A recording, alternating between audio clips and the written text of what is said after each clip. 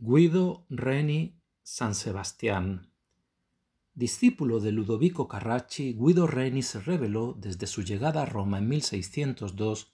de más temperamento que ningún otro incaminato y con una mayor autonomía en sus relaciones con Aníbal, adoptando desde un principio posiciones orgullosas y competitivas con sus colegas, sobre todo con Domenichino y Albani protegido por Pablo V y por el cardenal Scipione Borghese,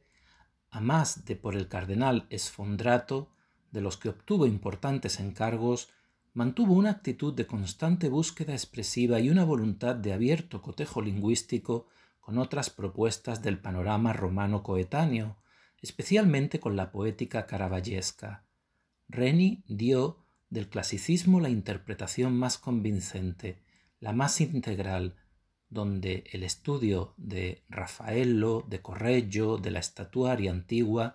es enunciado de un modo programático con los pinceles, equilibradísima composición, elegantes cadencias rítmicas, calidades luminosas y color transparente. Su ideal de perfección y belleza del cuerpo humano, unido a sus criterios estéticos de gracia, los expuso de modo magistral en este San Sebastián, Reni define su poética ya del todo formada, más lírica que la de cualquier otro de los clasicistas, consistente en el culto de la idea que se manifiesta en la relación dialéctica entre naturaleza y regla clásica.